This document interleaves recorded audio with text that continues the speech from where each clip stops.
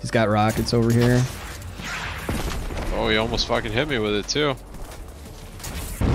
Dropping loads. Dropping loads.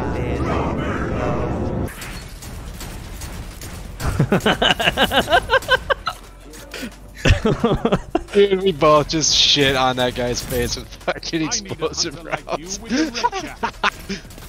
That was the stupidest kill I've ever seen.